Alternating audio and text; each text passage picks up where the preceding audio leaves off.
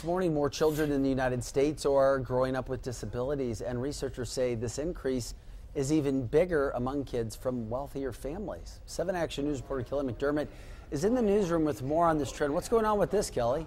Well, Vic, the study found certain types of disabilities are on the rise among kids here in the U.S.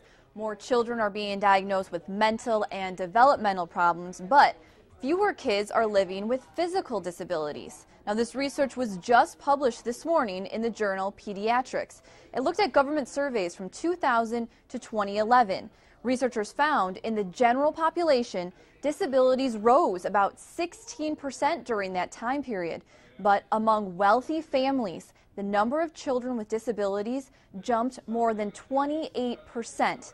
The biggest increases were in kids being diagnosed with attention and speech problems and other types of developmental disorders like autism.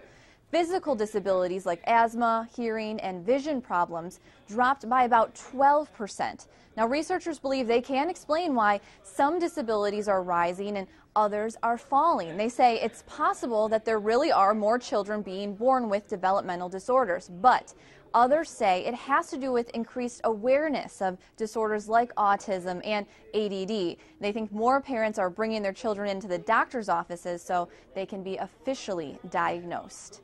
In the newsroom, Kelly McDermott, 7 Action News.